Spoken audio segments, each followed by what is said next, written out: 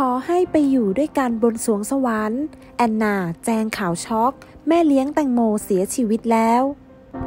ถือเป็นอีกหนึ่งข่าวเศร้าที่สะเทือนหัวใจไม่น้อยเลยทีเดียว เมื่อล่าสุดแอนนาได้ออกมาประกาศข่าวแจ้งให้ทราบว่า แม่เลี้ยงของเพื่อนสนิทอย่างแตงโมนิดาได้เสียชีวิตลงแล้วโดยเจ้าตัวได้โพสต์ภาพแห่งความทรงจำกับการร่วมเฟรมกันของแตงโม พ่อโสและพี่กิ๊ก พร้อมข้อความว่า พี่กิ๊ก อีกคนที่โมรักเหมือนแม่ เป็นแม่เลี้ยงของโมที่ดูแลโมมาตลอดหลายปี จากไปอย่างสงบด้วยโรคมะเร็ง ขอให้พี่กิ๊กไปอยู่กับโมและคุณพ่อนะคะ บนสวงสวรรค์นะคะ งานนี้แฟนๆ ต่างเข้ามาร่วมแสดงความเสียใจกันเป็นจำนวนมาก ทางดาราเดลี่ก็ขอให้ทั้ง 3 ท่าน ได้ไปพบกันบนสวงสวรรค์เช่นกันนะคะ